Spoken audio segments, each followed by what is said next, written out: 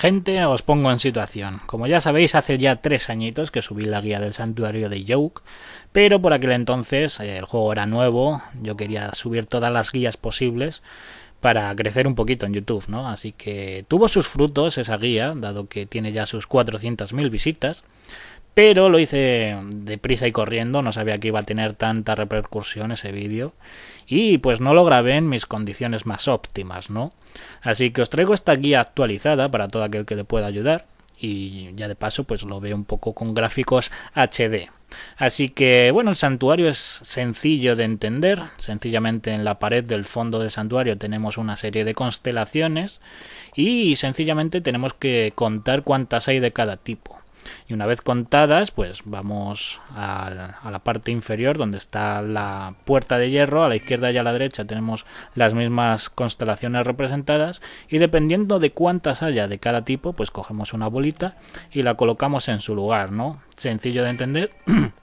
Y en esta actualización de dicho santuario, pues os enseño a conseguir el cofre también, ¿no? Que la mecánica es la misma, contar constelaciones, y dependiendo de cuántas haya de cada tipo, pues pones la bolita en uno u otro lado, ¿no? Así que espero que te sirva este vídeo actualizado 2021. Y nada, eh, si eres nuevo en el canal y te ha servido, pues suscríbete que te sale gratis. Y si necesitas algún mando para Switch, unos cascos, teclados, ratones, lo que necesites, pues échale un vistazo a la página de EasySMX y utiliza el código JINK, eh, que lo tenéis en la descripción, toda la información, para un 7% de descuento en todos los productos de la página. Da igual si es un mando, unos cascos, lo que sea. Así que dale ahí a aplicar el código. Suscríbete, déjate un buen me gusta y hasta la próxima.